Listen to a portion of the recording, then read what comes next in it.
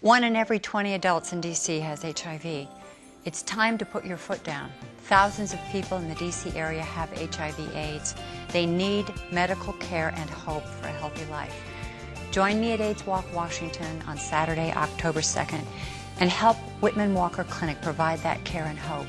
I'm Lynda Carter, and I want you to be a hero in real life. Sign up now at AIDSWalkWashington.org or call 202 332 WALK.